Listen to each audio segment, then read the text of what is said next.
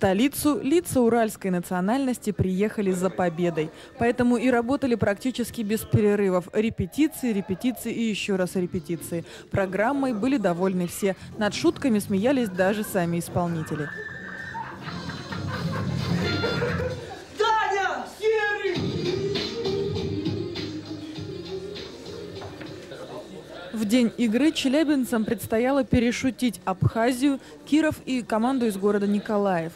Поначалу все шло прекрасно. Визитка, Луна – первое место. Разминка, ситуация не изменилась. Последний ответ ему очень хорошо. Последний два. Очень хорошо. Да и своя как бы нормально. Там Абхаза тоже тянули. Челябинск.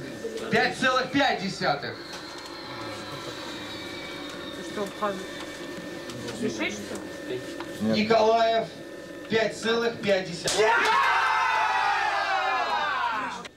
Но, к сожалению, оценки за домашнее задание у челябинцев подкачали. Результат – третье место. А в финал выходят только первые две команды. Однако шанс попасть в высшую лигу у КВНщиков еще остается. Для этого им нужно удивить Маслякова на зимнем фестивале в Сочи.